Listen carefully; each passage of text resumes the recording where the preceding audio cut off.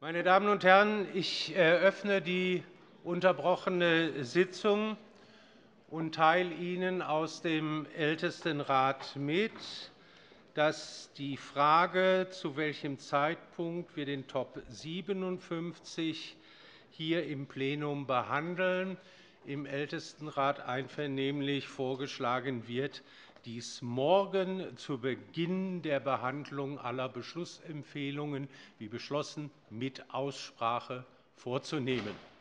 Wenn dem jetzt niemand widerspricht, machen wir das so, und ich rufe den nächsten Tagesordnungspunkt auf.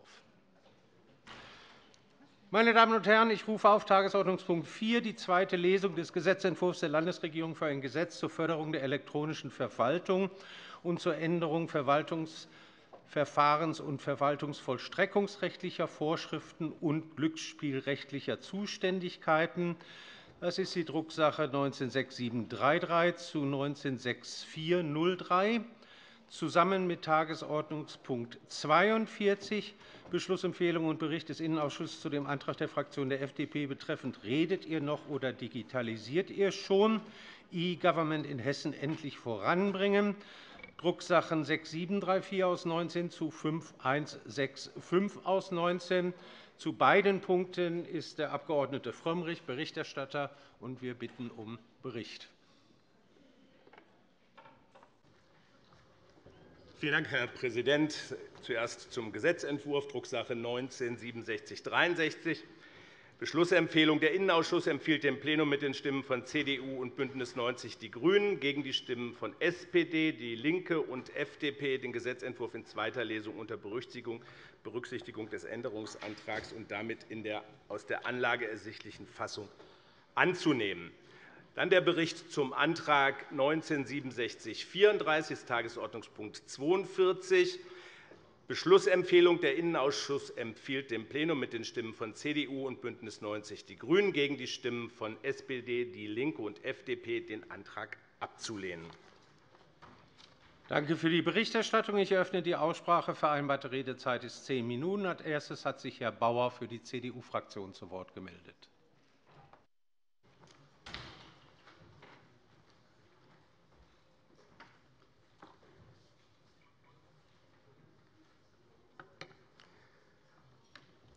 Herr Präsident, meine sehr verehrten Damen und Herren! Wir alle sind an einer modernen und effizienten Verwaltung interessiert. Im digitalen Zeitalter werden sich Behörden und Verwaltungsabläufe grundlegend verändern. Wer schon einmal in Estland oder in Dänemark war, weiß, was jetzt bereits alles im Rahmen einer digitalen Verwaltung machbar ist. Auch hier in Hessen wollen wir Christdemokraten die Digitalisierung weiter fördern und schnell und umfassend digitale Leistungen bereitstellen.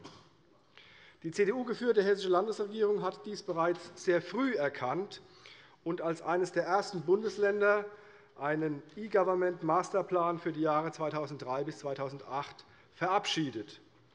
Damals wurde die Basisinfrastruktur geschaffen. Zu nennen sind hier beispielsweise das Hessennetz, das Dokumentenmanagementsystem und überhaupt eine E-Mail-Struktur für die Landesverwaltung. Im Masterplan 2009 bis 2014 wurde auf den gewonnenen Erfahrungen aufgebaut und die elektronische Verwaltung weiterentwickelt. Der Bürger und die Bürgerin ziehen klare Vorteile aus dem Angebot einer elektronischen Verwaltung. Der Kontakt zu den Behörden wird durch eine neue Kommunikations- und Interaktionswege deutlich verbessert und vereinfacht. Die Behörden sind praktisch rund um die Uhr erreichbar, und die Automatisierung wird in der Regel auch zu einer Vereinfachung von Abläufen genutzt. Mit dem am 23. Mai eingebrachten Gesetz bauen wir jetzt die Vorteile einer digitalen Verwaltung weiter aus und setzen diesen guten Weg konsequent fort. In der Anhörung ist noch einmal deutlich geworden, um welche große Herausforderung es sich bei der Digitalisierung der Verwaltung handelt handelt es sich doch bei der Digitalisierung um einen Bereich, in dem die Entwicklung ständig weitergeht, manchmal auch sprunghaft. Und deshalb war es gut, dass man sich an dem Bundesgesetz orientiert hat. Denn das Bundesgesetz ist ein vernünftiges Rahmengesetz, und es sorgt auch für einheitliche Regelungen in unserem föderalen System. Prof. Richter von der Hochschule der Akademie der Polizei in Hamburg hat im Rahmen der Anhörung daher die Orientierung an diesem Bundesgesetz, also die Übernahme von Regelungen und Anpassungen in unser Landesrecht, ebenso als Zitat natürlich richtig bewertet wie Prof. Hornung von der Universität Kassel, der ein Höchstmaß an Einheitlichkeit der Rechtsgrundlagen für erstrebenswert hält. Das Dilemma, einerseits ein möglichst modernes Gesetz haben zu wollen und andererseits noch die zwingend nötige Einheitlichkeit zu gewährleisten, hat Prof. Richter klar benannt. Er sagte, es bleibt am Ende nur ein Mittelweg. Das, was mit dem Gesetzentwurf der Landesregierung jetzt vorgesehen ist, wurde von den Experten nicht verworfen. Die Kritik machte sich vielmehr an den Stellen fest, an denen man eine weitergehende Lösung für wünschenswert erachtete. Prof. Richter hielt es dann auch für schwer zu entscheiden, ob mehr besser gewesen wäre. Dazu zitiere ich auch Prof. Hornung aus der Anhörung. Zitat, es wurde mehrfach nach einer Gesamtbewertung gefragt. Ist der Gesetzentwurf zu zurückhaltend? Ich würde prinzipiell keine negative Gesamtbewertung abgeben. Der Gesetzentwurf greift relevante, wichtige Punkte auf, die auch der Bundesgesetzgeber adressiert hat. Mit dem Gesetzentwurf haben wir zu wesentlichen Regelungen des Bundesgesetzes eine Entsprechung, und das halte ich für grundsätzlich positiv. Zitat Ende, meine Damen und Herren. Sie sehen also, dass die Anhörung durchaus anerkannt hat, dass wir uns einen Rahmen gegeben haben, der entsprechende Regelungen im Landesrecht umsetzt, die vernünftig und sinnvoll sind. Gleichwohl haben wir auch aus der Anhörung einige Anregungen aufgegriffen und mit dem Änderungsantrag 196729 in den Gesetzentwurf jetzt hiermit eingebracht. So haben wir im Sinne der Europarechtskonformität hier hat es ja in den letzten Jahren neue Entwicklungen gegeben, einige Anpassungen vorgenommen. Ebenfalls ergänzt haben wir die Vorschrift welche die Umsetzung von Standardisierungsbeschlüssen des IT-Planungsrats innerhalb der Landesverwaltung und den übrigen Behörden regelt. Meine Damen und Herren, mehr digitale Infrastruktur bedeutet auch gleichzeitig mehr Angriffsfläche für Cyberkriminelle und Hacker. Wir müssen daher sicherstellen, bei allem Optimismus in eine digitale Zukunft, den wir auch haben, dass die empfindlichen Daten unserer Bürgerinnen und Bürger und die behördlichen Systeme nach höchstem Maßstab gesichert werden. Innenminister Peter Beuth hat deshalb dazu bereits 2016 das Kommunale Dienstleistungszentrum Cybersicherheit Hessen gegründet.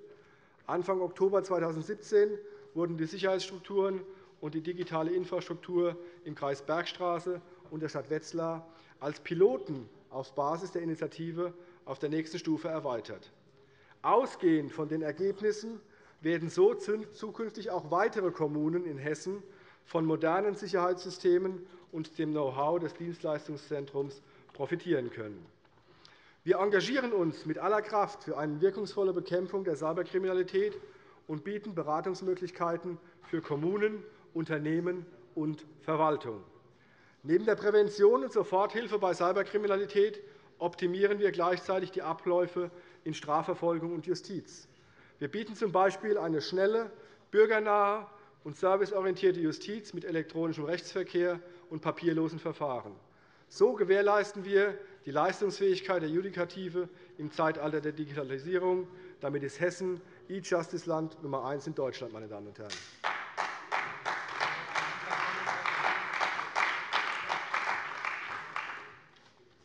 Wir haben einiges erreicht, und wir werden nicht nachlassen, diesen Weg konsequent weiter fortzugehen und weitere Bereiche zu digitalisieren. Digitalisierung ist nämlich nicht ein einmaliges Ereignis, sondern sie muss stets als sich verändernder Prozess begriffen werden. Die kontinuierliche Weiterentwicklung und Innovation im digitalen Sektor erfordert schließlich auch eine kontinuierliche Evaluierung der Digitalisierungsstrategie unseres Landes. Meine Damen und Herren, bei dem heute in zweiter Lesung zu beratenden Gesetzentwurf handelt es sich um ein wichtiges und sinnvolles Gesetzgebungsverfahren. Beim Status quo können wir nicht verharren. Und hinter den bundesrechtlichen Verpflichtungen dürfen wir nicht zurückbleiben. Ich bitte Sie daher um Zustimmung zu diesem guten und soliden Weg einer gesetzlichen Regelung in dieser so wichtigen Aufgabe für unsere Zukunft. – Besten Dank. Danke, Herr Bauer. Für die FDP-Fraktion erteile ich Herrn Greilich das Wort.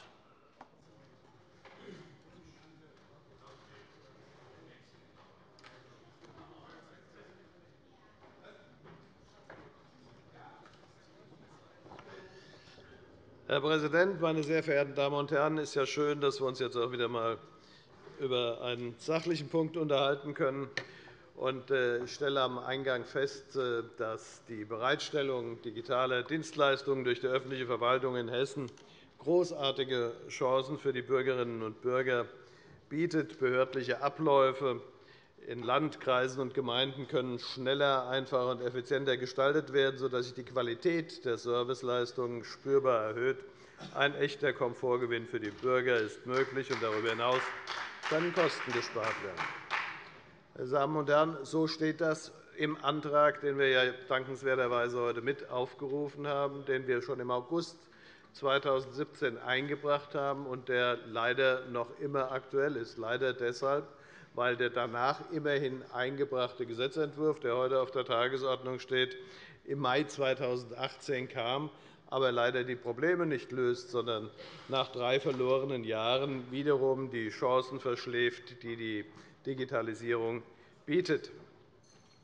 Ich will ein paar Worte zum Inhalt des Gesetzes sagen. Äh, Im Wesentlichen, das hat Kollege Bauer schon vorgetragen. Allerdings meint er, das scheint, äh, scheint er zu meinen, das reicht aus, um in die Zukunft zu gehen. Das wären nur die Übernahmen der Regelungen des Bundesgesetzes aus dem Jahr 2013 umgesetzt. 2013, fünf Jahre haben Sie dafür gebraucht, um ich einmal ein Beispiel in § 7 die elektronische Aktenführung zu regeln, wonach Behörden des Landes Akten elektronisch führen sollen, noch nicht einmal ausdrücklich müssen, sondern nur in dieser sehr strengen, aber trotzdem Soll-Formulierung. Das Bundesgesetz hatte eine Frist von sechseinhalb Jahren gelassen. Verabschiedet wurde das Bundesgesetz Mitte 2013 mit Inkrafttreten zum 1. Januar 2020.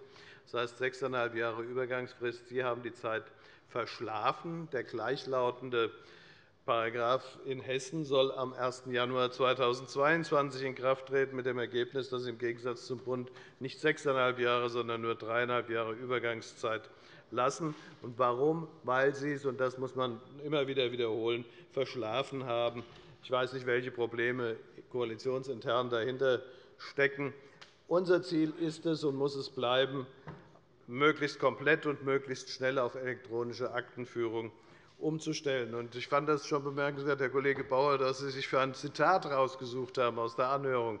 Da finden Sie zwei Seiten Stellungnahme des zitierten Sachverständigen, in denen er sagt, was man eigentlich alles hätte machen müssen und besser hätte machen müssen. Aber er wollte das Ganze nicht in Bausch und Bogen verdammen. Ein höflicher Mensch.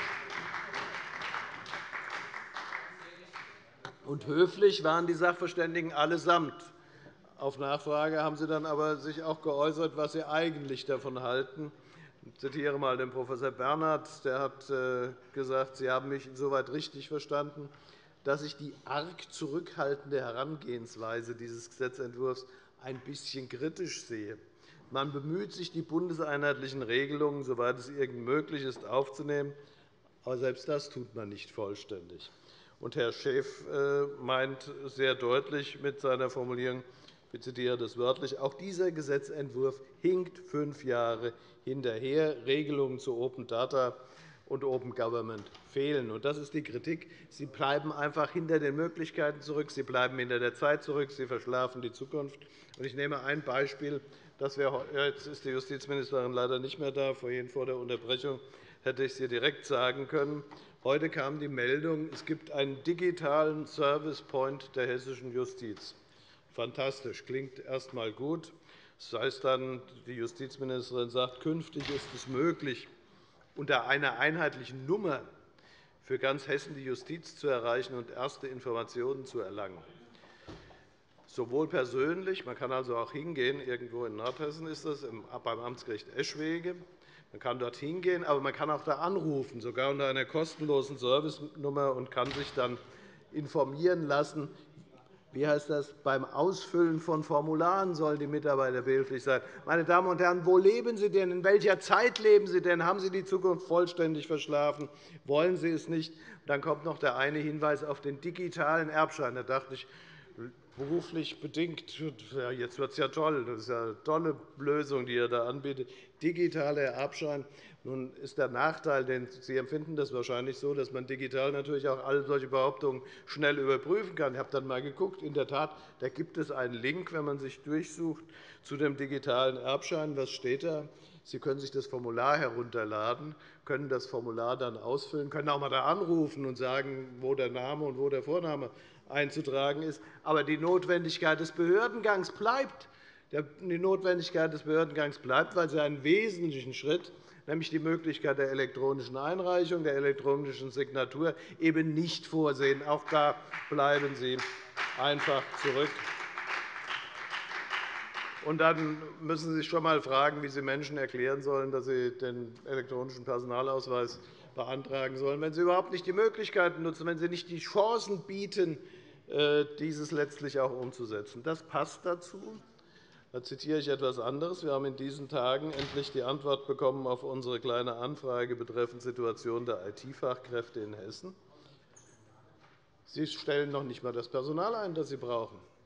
223 Stellen sind ressortübergreifend derzeit unbesetzt. Das steigert sich von Jahr zu Jahr. 2016 waren 108 unbesetzt, 2017 131, jetzt 223 Stellen. Das heißt, Sie unternehmen nicht die notwendigen Anstrengungen, um das Personal zu gewinnen, um die Fachkräfte zu gewinnen, die wir brauchen.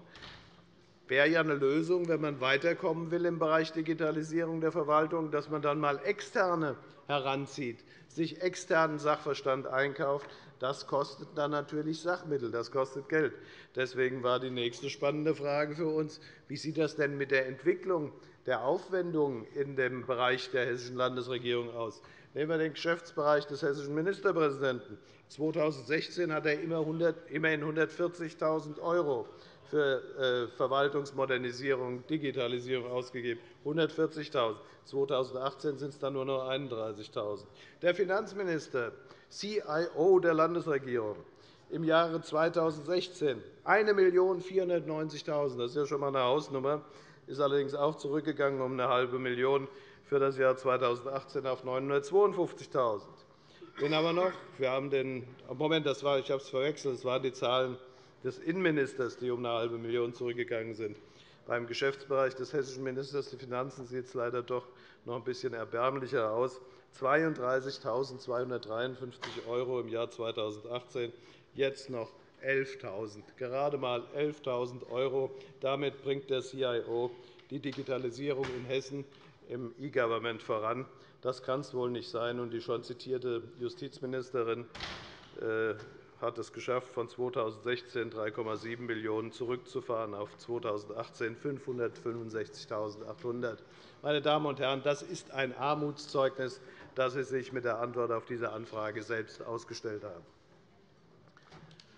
Ja, ihr dürft klatschen. Danke.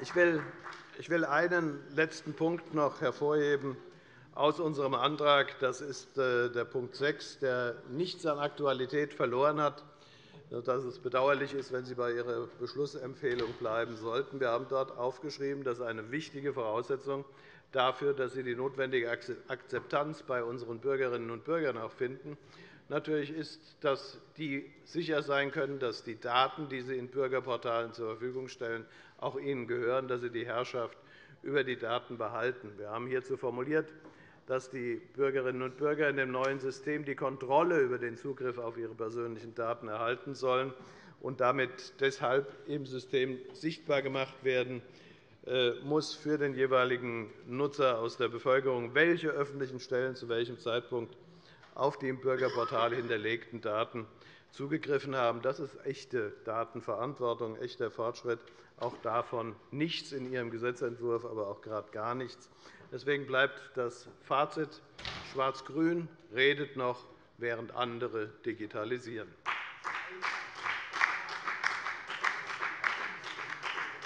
Trotz des vorgelegten Gesetzentwurfs bleibt Hessen bei der Gestaltung der Digitalisierung weit hinter seinen Möglichkeiten. Die Rufe nach einem stärkeren Engagement der Landesregierung werden immer lauter. Zuletzt hat der Ministerpräsident bei Hessen Metall entsprechendes Hören können. Ich zitiere einmal wörtlich, wie es berichtet worden ist. Er hat dann ein digitales Ministerium, ein digitales Ministerium für die nächste Legislaturperiode angekündigt, was immer das sein soll.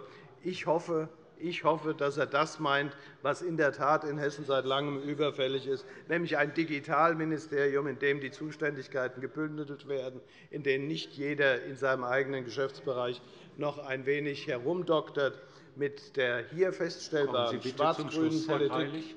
Ich komme zum Schluss, denn mit dieser schwarz-grünen Politik der eingeschlafenen Hand verschläft Hessen die Zukunft. Wir brauchen einen Weckruf für Hessen. Die Politik des Stillstands bei Zukunftsthemen muss vorbei sein. Danke, Herr Greilich. Für die SPD-Fraktion hat sich Herr Eckert gemeldet.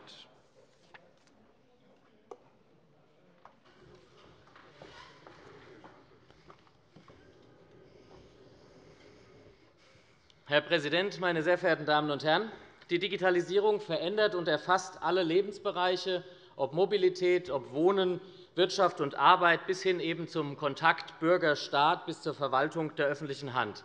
Digitalisierung aber ist keine Naturgewalt, und sie fällt auch nicht einfach vom Himmel. Digitalisierung bietet große Chancen, aber sie birgt auch Risiken. Sie bedeutet schlichtweg Veränderung. Meine Damen und Herren.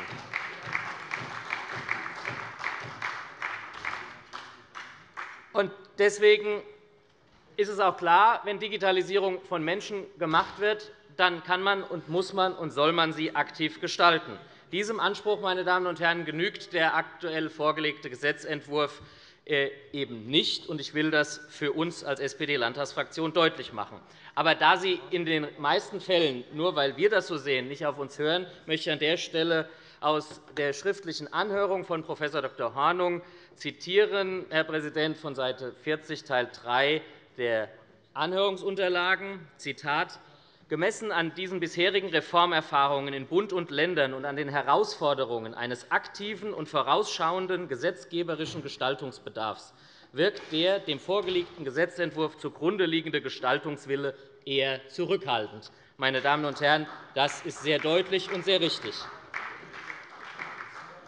Wir wollen, dass Hessen die Nummer eins in Deutschland beim Thema E-Government wird. Hessen soll von Unternehmen, Start-ups und digitalen Bürgerinitiativen lernen und sich zum Ziel stecken, alle Verwaltungsvorgänge für die Bürgerinnen und Bürger online verfügbar zu machen. Dabei muss im Jahr 2018 zwingend eine Regelung für Open Data in einem solchen Gesetz aufgenommen werden. Und dass es geht, sehen Sie in Hamburg, sehen Sie auch im Bundesgesetz. All diese Themen und das schaffen Sie noch nicht einmal, Herr Kollege Frömmrich, im Vergleich zu anderen Bundesländern und zum Bund eine solche Regelung reinzuziehen. Hier in diesem Gesetzentwurf aktive Gestaltung ist in diesem Falle Fehlanzeige, meine Damen und Herren.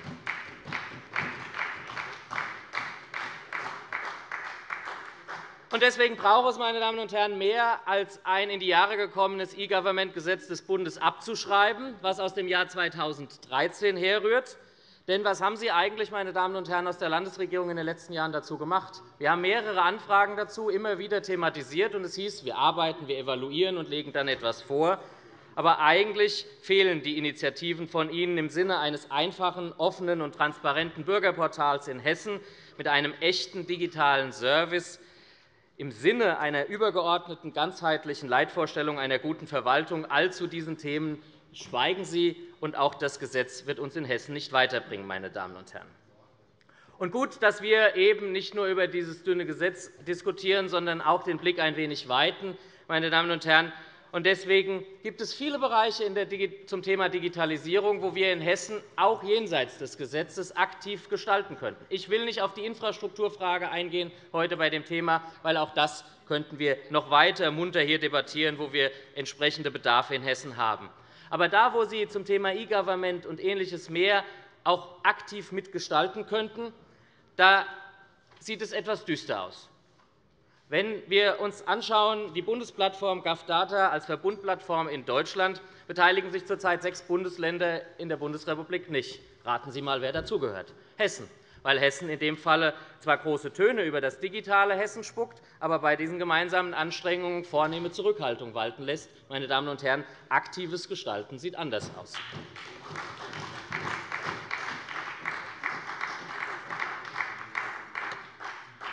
Und an der Stelle auch, Herr Schäfer, eine Reise ins Silicon Valley allein macht noch kein digitales Hessen. Ansonsten tatsächlich sich Gedanken zu machen, wie wir digitale Verwaltung gestalten können, welche Grundlagen wir nachher brauchen für ein echtes E-Government-Gesetz. All diese Themen dazu haben Sie mit dem vorgelegten Gesetzentwurf leider nicht die Grundlagen gelegt für eine moderne digitale Verwaltung im Interesse der Bürgerinnen und Bürger unseres Landes. Ich will bei dem Thema ansprechen, dass es nicht reicht, alleine digitale Prozesse abzubilden, ohne sich vorher die Prozesse angeschaut zu haben. Herr Präsident, mit Ihrer Erlaubnis möchte ich gerne Thorsten Dirks, den CEO von Telefonica Deutschlands, im Jahr 2015 zitieren, der gesagt hat, Zitat, wenn Sie einen Scheißprozess digitalisieren, dann haben Sie einen scheiß Prozess. Zitat Ende, meine Damen und Herren. Ich will, ich will es diesem Hause entsprechend vielleicht etwas noch freundlicher formulieren und zitiere dazu aus der mündlichen Anhörung des Innenausschusses von Herrn Prof. Dr. Bernhard, der gesagt hat, Zitat, ein weiterer Punkt, der auffälligerweise im hessischen Gesetzentwurf fehlt, ist die Pflicht zur Optimierung von Verwaltungsverfahren vor der Digitalisierung. Es ist heute eigentlich Konsensus, dass man ohne eine vorherige Optimierung oft nicht hinreichend die Potenziale der Informationstechnik abrufen und das Verfahren effektiv gestalten kann. Zitat Ende, meine Damen und Herren. Sie sehen, einfach nur ein E-Government-Gesetz abzuschreiben, vorzulegen, aber sich nicht um die Prozesse zu kümmern, das bringt auch das Thema Digitalisierung in der Verwaltung nicht wirklich voran. Meine Damen und Herren.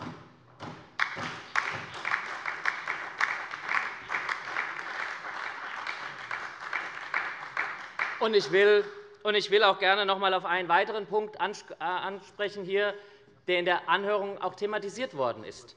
Das ist äh, die Frage von Fristsetzung für die digitalen Veränderungsprozesse, die Frage, wer nachher tatsächlich diese Fristen in Gang setzt und wer dafür verantwortlich ist, nachher, dass Verwaltungen sich tatsächlich auch digital verändern. Und dazu ein drittes, weiteres Zitat, weil ich finde, damit hat Prof. Äh, Dr. Richter in der mündlichen Anhörung des Innenausschusses sehr viel Richtiges gesagt. Meine Damen und Herren. Zu dem § 17 des vorgelegten Gesetzentwurfs. Zitat. Überraschend ist, dass die Wirkkraft eines Gesetzes von einem Akt der Verwaltung selbst abhängig gemacht wird, die von diesem Gesetz eigentlich angeleitet werden soll. Das habe ich bisher noch nicht gesehen. Für die Verwaltung ist es sehr komfortabel zu sagen, ich sage dann Bescheid, wann das Gesetz für mich gilt, nämlich dann, wenn ich die Infrastruktur aufgebaut habe. Das finde ich nicht nur überraschend in der Sache, sondern frage mich mit Blick auf die Gewaltenteilung auch, ob das sinnvoll ist. Zitat Ende, meine Damen und Herren. Diesen Ansatz schließen wir uns an und finden das eine sehr berechtigte Frage in der Systematik dieses vorgelegten Gesetzentwurfs. Das Thema Informationsfreiheit und Transparenz öffentlicher Entscheidungen, Verwaltungshandeln, all das haben wir hier hinreichend diskutiert in der Frage eines echten Informationsfreiheits- und Transparenzgesetzes. Auch das ist in der Anhörung deutlich geworden. Ich verzichte ganz viele Beispiele aus der Anhörung Ihnen zu zitieren, die immer wieder gezeigt haben, es geht anders. Sie müssen den restriktiven Weg, den das Bundesland Hessen unter schwarz-grüner Führung in dem Falle bislang gegangen ist, verändern, um wirklich Transparenz und Informationsfreiheit zu gewährleisten. Auch das wurde in der Anhörung deutlich. Korrigieren Sie mit dem Gesetz ganz überraschenderweise nicht. Sie bleiben bei Ihrer Linie, und deswegen ist es falsch, meine Damen und Herren.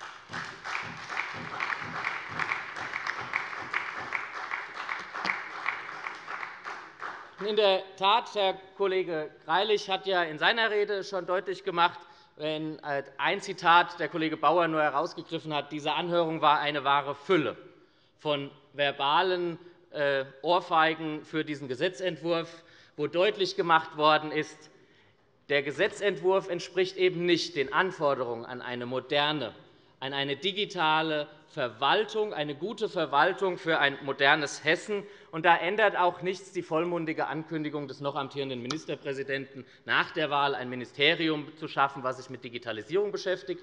Er hat vor der letzten Wahl schon etwas zum Thema Zukunftsfragen versprochen. Das kam nicht. Dieses Mal würde es nicht kommen, wenn er dazu Gelegenheit hätte. Aber, meine Damen und Herren, ich habe es Ihnen bei der ersten Lesung schon gesagt, auch da arbeiten wir daran, dass er da gar nicht mehr in die Verlegenheit kommt, dieses Versprechen vor der Wahl, nach der Wahl auch wieder einmal nicht umzusetzen. Meine Damen und Herren.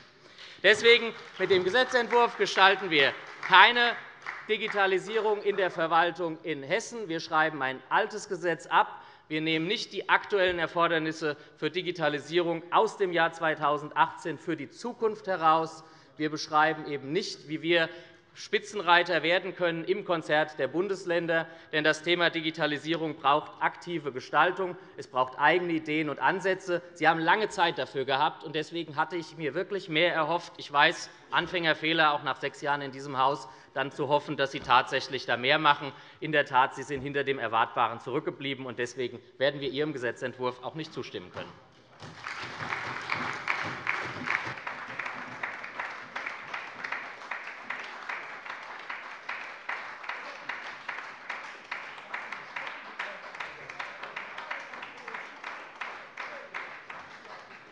Vielen Dank, Herr Kollege Eckert. – Als nächster hat das Wort Herr Abg. Schaus für die Fraktion DIE LINKE. Bitte schön.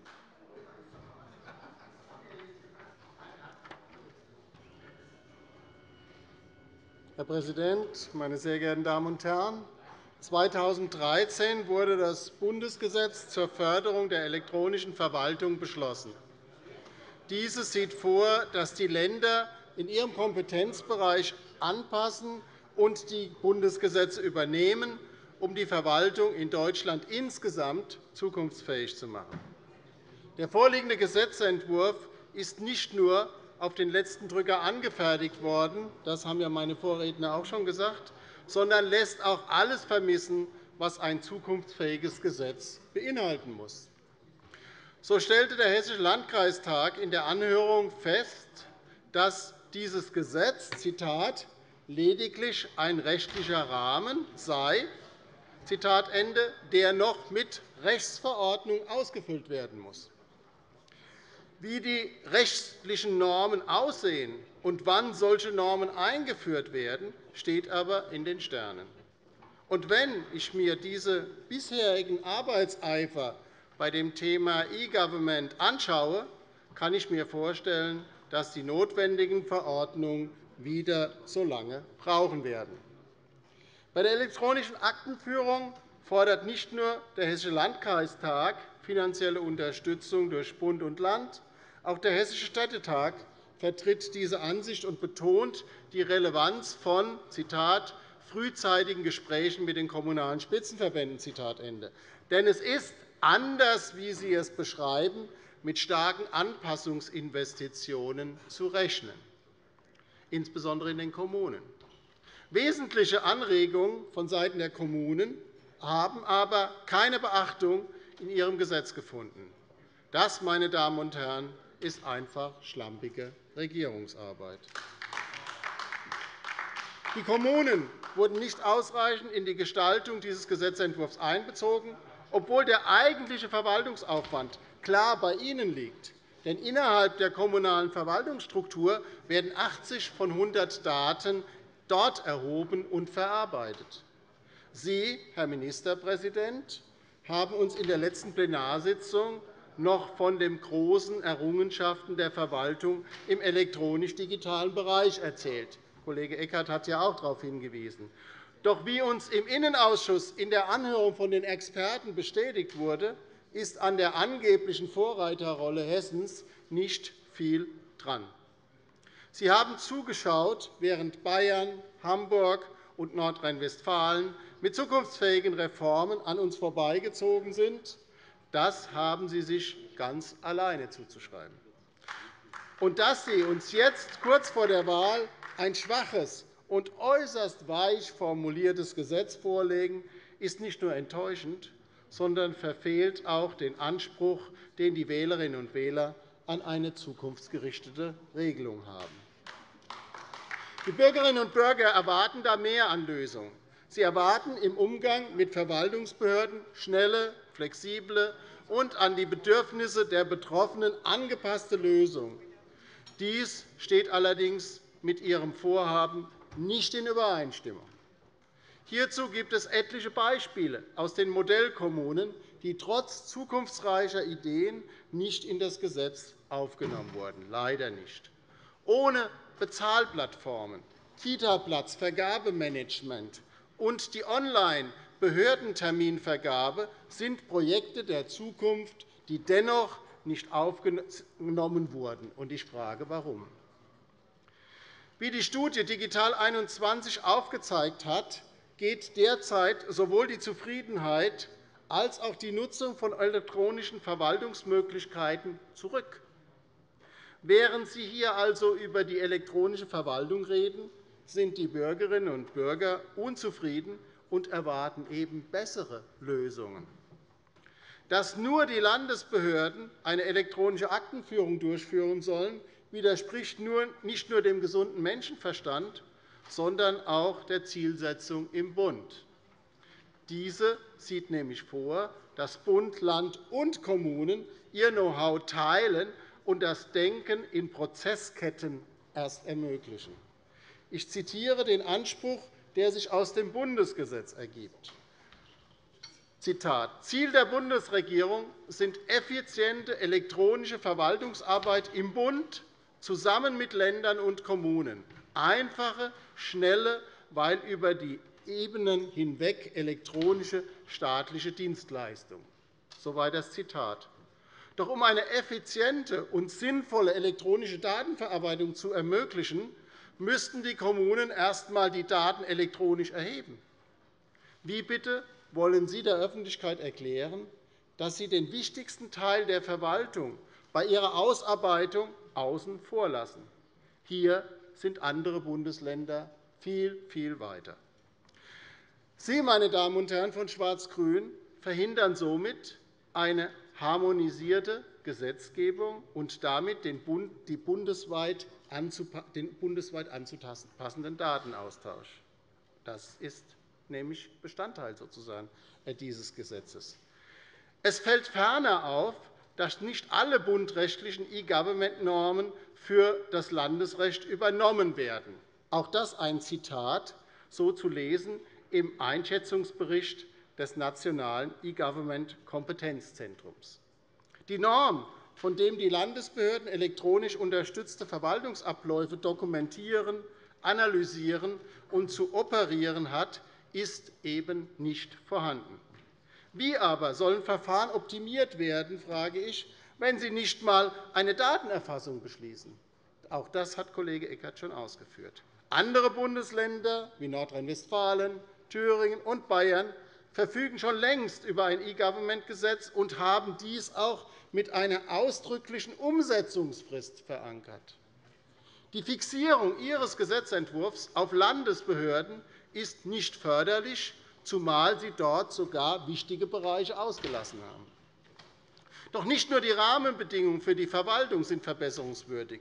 Auch die Rechte jeder Bürgerin, jedes Bürgers und jedes Unternehmens müssten in diesem Gesetz festgeschrieben werden. Das tun sie aber nicht. Die erhobenen Daten von Bürgerinnen und Bürgern und Unternehmen müssen nicht nur im Hinblick äh, der Datenschutzgrundverordnung gesehen werden, sondern es bedarf einer weiteren Möglichkeit der Offenlegung gegenüber den Betroffenen. Aber davon ist nichts zu lesen. Ebenso wäre auch eine gesetzlich vorgeschriebene Verschlüsselung von Dokumenten, die zwischen Landes- und Kommunalverwaltungen hin und her geschickt werden, von äußerster Dringlichkeit. Es kann doch nicht sein, dass in Zeiten der ausgedehnten Cyberkriminalität wichtige Dokumente unverschlüsselt verschickt werden. Der Verweis auf die verschlüsselte D-Mail ist unzureichend, da nach Ihrem Gesetzentwurf eben nur Landesbehörden verpflichtet sind, die D-Mail zu nutzen. All diese Unzulänglichkeiten haben aber ihren Ursprung in dem Versuch der Verhinderung von kommunalen Konnexitätsansprüchen. Genau das ist der rote Faden, der sich durch das ganze Gesetz zieht. Denn einerseits verpflichten Sie die Kommunen, das Bundesrecht anzuwenden, greifen also durch, um andererseits keine Bereitschaft bei der Finanzierung der enormen Kosten zuzugestehen. Die Kommunen brauchen aber das Geld, die Zusammenarbeit und die technische Unterstützung des Landes, sonst kommen wir insgesamt da eben nicht weiter. Mein Fazit. Die Modellkommunen, die bereits 2014 vom Bund ausgewählt wurden, haben als größte Digitalisierungsherausforderung die mangelhafte Unterstützung von Bund und Ländern beklagt.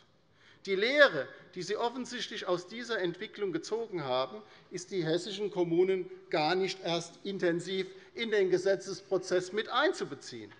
Weiterhin brauchen Bürgerinnen und Bürger mehr rechtliche Kompetenzen zur Einflussnahme auf ihre Daten und Einsicht auf Anfrage. Es fehlt weder an Ideen, an Beispielen oder an technischen Möglichkeiten, sondern nur am politischen Willen der Landesregierung und der von Schwarz-Grün zur Durchsetzung von zukunftsweisender Technik in der Verwaltung. Beziehen Sie also die betroffenen Behörden endlich mit ein und entscheiden Sie nicht über deren Köpfe hinweg. Die Kommunen die Kommunen brauchen finanzielle Unterstützung bei der Umsetzung und rechtlichen Rahmenbedingungen, die den Namen dann auch verdienen. Hessen wird mit diesem Gesetz ins digitale Abseits gestellt. Und deshalb werden wir es ablehnen. Vielen Dank, Herr Schaus. – Als nächstes spricht Kollege Frömmrich, BÜNDNIS 90 die GRÜNEN. Bitte schön.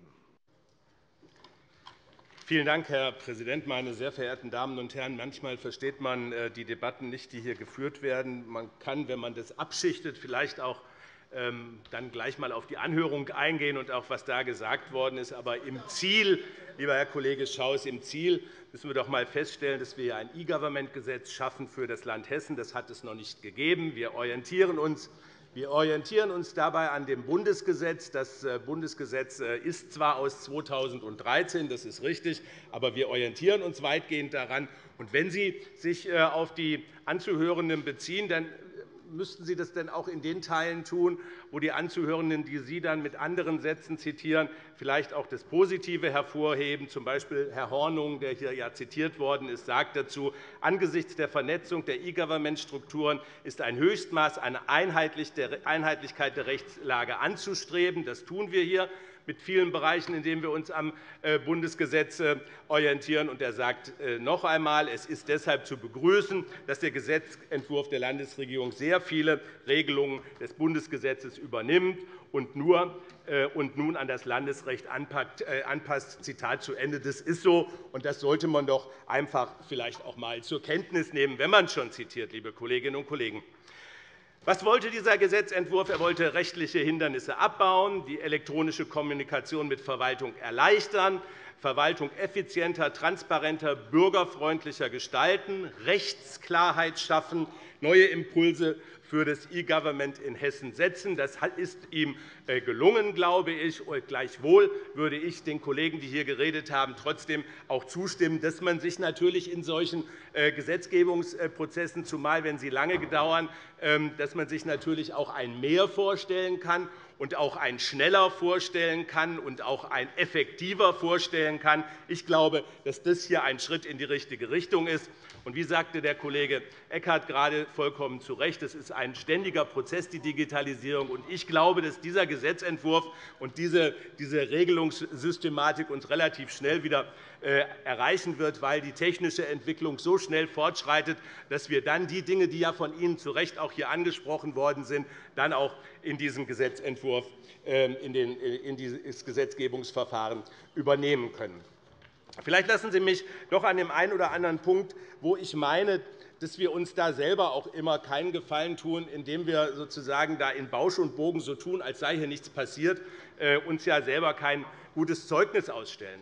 Kollege Eckert hat gesagt, wir würden uns nicht intensiv mit ähm, Digitalisierung äh, beschäftigen. Ich will einmal daran erinnern, dass dieser Landtag ich glaube, es war sogar auf äh, Initiative der FDP, ich weiß es nicht, ähm, dass wir uns mit einer sehr umfangreichen Anhörung hier, ich glaube, über einen ganzen Tag äh, mit den Fragen der Digitalisierung äh, beschäftigt haben. Und das, was Kollege Eckhardt ja angesprochen hat, die Digitalisierung, die ganz viele Lebensbereiche betrifft, hier ausführlich diskutiert haben und wir da, glaube ich, eine sehr inhaltliche und eine sehr aufschlussreiche Anhörung gehabt haben. Also, da kann man doch nicht allen Ernstes sich von hier vorne hinstellen und kann sagen, im Bereich der Digitalisierung sei nichts unternommen worden, im Bereich der Digitalisierung habe man sich nicht beschäftigt. Weiterer Punkt.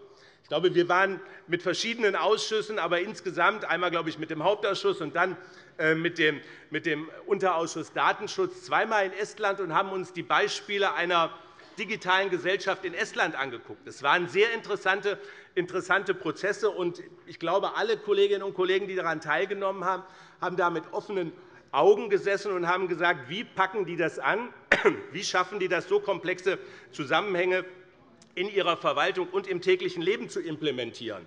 Das hat uns alle sehr, äh, sehr, äh, sehr beschäftigt. Aber ich will hier einmal zwei Punkte nennen, über die wir dann mal hier diskutieren sollten. Und dann möchte ich mal sehen, ob der Herr Schaus immer noch ähm, so forsch in der Argumentation ist, wie er das gerade war.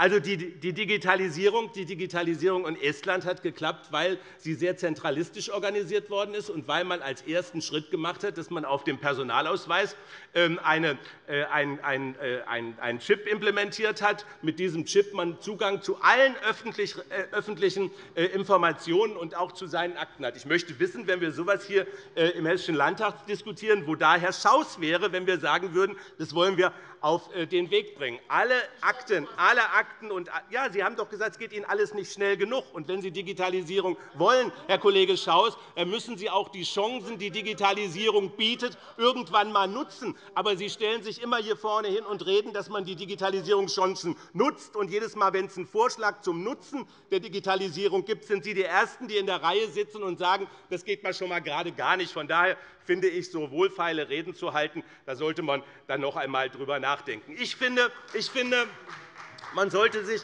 man sollte sich dieses Beispiel Estland doch einmal genauer anschauen, dass die Bürger über ihren Ausweis Zugang zu allen sie betreffenden Daten haben und sie in Kommunikation mit den staatlichen Institutionen äh, treten können. Das, wäre ein Riesenschritt im Bereich der Digitalisierung. Aber wie wir in den Diskussionen auch mit den Ästen erlebt haben, wir haben uns dann immer gesagt, ähm, ja, die Fragen, die Sie hier stellen, die sind ja alle so zurückhaltend. Wir diskutieren immer mit den deutschen Gruppen über die Probleme, die Digitalisierung äh, bringt. Aber wir reden mit den deutschen Gruppen äh, in der Regel nicht darüber, welche Vorteile die Digitalisierung hat. Also, ich will einmal sagen, hier nicht vorne hinstellen und mit Hurra immer Digitalisierung fordern und dann, wenn es gemacht werden soll, äh, dann immer das Haar in der Suppe suchen. Deswegen lassen Sie mich dazu sagen, wir haben hier einen ersten Schritt gegangen mit diesem E-Government-Gesetz. Wir haben die Umsetzung dessen gemacht, was auf Bundesebene, äh, auf Bundesebene festgeschrieben worden ist. Man kann sich da mit Sicherheit mehr vorstellen. Ich kann auch dazu sagen, dass es mir auch in diesem Bereich alles, was mit Elektronik und kann mir auch vorstellen, dass alles, was mit Digitalisierung und mit Digitalisierungsprozessen äh, äh, einhergeht, dass ich mir da auch mehr Geschwindigkeit wünschen würde. Aber ich sage mal, das sind Dinge, mit denen wir uns dann wahrscheinlich bei einer Anpassung dieses Gesetzes beschäftigen müssen. Aus meiner Sicht ein Schritt in die richtige Richtung, vielleicht nicht äh, schnell genug, vielleicht auch nicht intensiv genug, aber ich glaube, er beschreibt den richtigen Weg. Und wie Sie ja aus der Anhörung gehört haben, sagen ja viele, dass es gut ist, dass wir uns am Bundesgesetz orientieren. Und dann müssen wir äh, die weiteren Schritte planen. Von daher finde ich ein guter erster Schritt, und deswegen bitten wir um Zustimmung.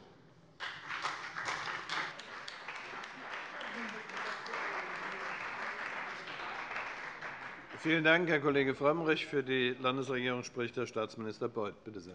Herr Präsident, meine sehr geehrten Damen und Herren! Wir haben äh, heute hier das äh, E-Government-Gesetz ähm, zur Verabschiedung. Ich will noch einmal kurz in wenigen Sätzen darauf eingehen, was das Gesetz äh, für einen Auftrag hat. Es soll einheitliche und transparente Regelungen bei der Ausführung von Bundes- und Landesrecht gewährleisten, den Abbau von Hindernissen für die Digitalisierung der Verwaltung ähm, ähm, sicherstellen, die Öffnung der des elektronischen Zugangs für die Bürgerinnen und Bürger und die Wirtschaft zur Verwaltung sicherstellen. Es ist damit die Einführung der elektronischen Akte und ähm, der elektronischen Vorgangsbearbeitung verbunden und die Schaffung von elektronischen Registern. Darüber hinaus die verwaltungsebenenübergreifende Zusammenarbeit von Bund und Ländern, der Verwaltungen untereinander. Ähm, das liegt mir im Besonderen äh, am Herzen auch eben die Einbeziehung der Kommunen an dieser Stelle. Die rechtliche Verankerung der Funktion eines CIO ist äh, in diesem Gesetz ebenfalls ähm, vorgesehen. Wir schaffen einen IT-Planungsrat hier im Land.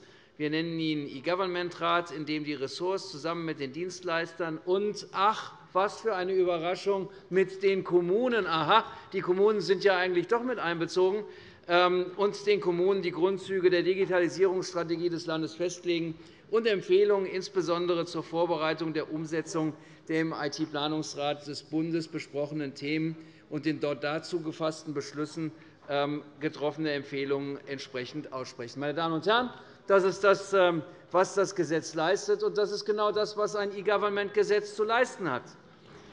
Ein E-Government-Gesetz ist kein Haushaltsgesetz, Herr Kollege Greilich. Natürlich ist es so, dass wir in äh, einem sehr, sehr großen Umfang Mittel für das Thema IT in äh, unseren Haushalten für die Zukunft schon vorgesehen haben. Ein E-Government-Gesetz ist auch keine äh, Prozessbeschreibung, Herr Kollege Eckert. Und da will ich Ihnen etwas verraten. Am Ende wird man, ich zitiere Ihr Zitat mit den Scheißprozessen, einen Scheißprozess werden Sie eben nicht im Gesetz ändern. Das geht nur in der Wirklichkeit, meine Damen und Herren. Es ist doch keine, es ist doch keine, ähm, kein Projektplan für die äh, Zukunft der IT. Und es ist schon gar keine Bedienungsanleitung für einzelne IT-Anwendungen. Aber den Eindruck konnte man in der Debatte gewinnen, dass Sie genau das alles von einem E-Government-Gesetz verlangen, was eigentlich nur dazu da ist, einen Rechtsrahmen zu schaffen. Und den schaffen wir mit diesem Gesetz, meine Damen und Herren. Ich will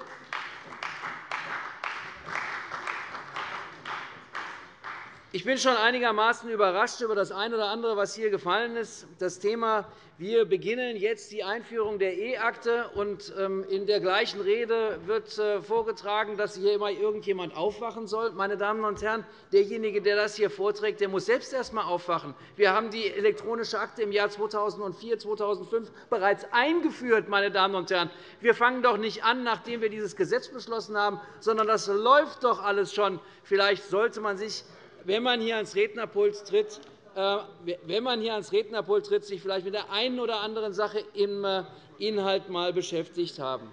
Die Voraussetzung dafür, dass wir die Digitalisierung hinbekommen, ist, dass wir so ein paar Grundbausteine überhaupt erst einmal hinbekommen. Und da sind wir doch weit voran. Wir haben mit den Bayern zusammen bereits eine Lösung für ähm, äh, das E-Payment geschaffen, für das elektronische das elektronische Postfach. Meine Damen und Herren, wir sind dabei, dafür Sorge zu tragen, dass wir die Bausteine, die man braucht, um überhaupt erst einmal in Digitalisierungsprozesse so richtig hineinzukommen, dass die bereits existieren. Schauen Sie einmal in andere Bundesländer. Da wird auf das geschaut, was wir machen. Da wird das kopiert, was wir machen, was wir gemeinsam mit den Bayern ähm, auf den Weg gebracht haben. Meine Damen und Herren.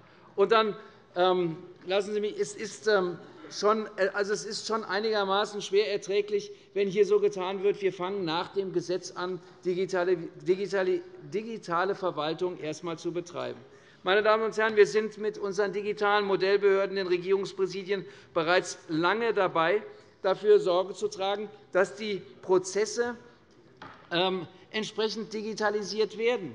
Wir fangen dort mit den Dingen an, die in den die als Dienstleistungen von den Regierungspräsidien entsprechend angeboten werden. Das ist zunächst einmal unsere Aufgabe, Stückchen für Stückchen, dass wir uns ähm, dieser Frage auch entsprechend nähern. Von der Anerkennungsprämie für Feuerwehren und Katastrophenschutz kann man sagen, ist nicht die wichtigste Anwendung, ist aber eine, wo wir einen sauberen Prozess sehr schnell digital abbilden können für die entsprechenden Anwender. Wir haben den Bereich des Arbeitsschutzes. Ich finde, dass das, ähm, ein vernünftiger eine vernünftige Herangehensweise ist, wenn man sagt, wir wollen mal schauen, ob wir es nicht hinbekommen, dass wir das Thema Beantragung von äh, Sonntagsarbeit durch Unternehmen dass wir das digital hinbekommen.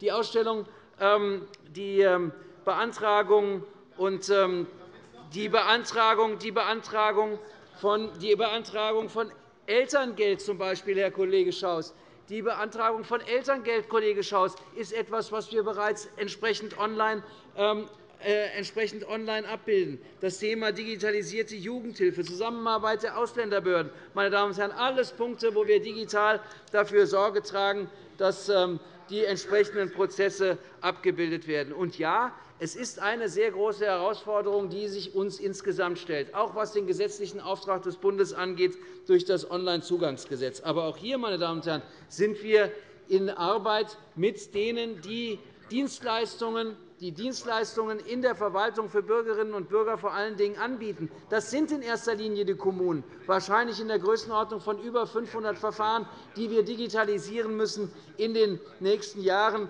Und, meine Damen und Herren, glauben Sie mir, das machen wir nicht gegen, sondern das machen wir mit den Kommunen. Und ich habe den Eindruck, dass die Kommunen auch kreuzdankbar sind für das, was wir machen und wie wir es machen. Jedenfalls sind Sie kräftig dabei bei der Frage, wie können wir gemeinsam erreichen, dass wir die digitale Verwaltung in Hessen insgesamt hinbekommen, von den Kommunen über die Regierungspräsidien bis hin zum Land. Die Rechtsgrundlage schaffen wir jetzt mit dem E-Government-Gesetz. Vielen herzlichen Dank.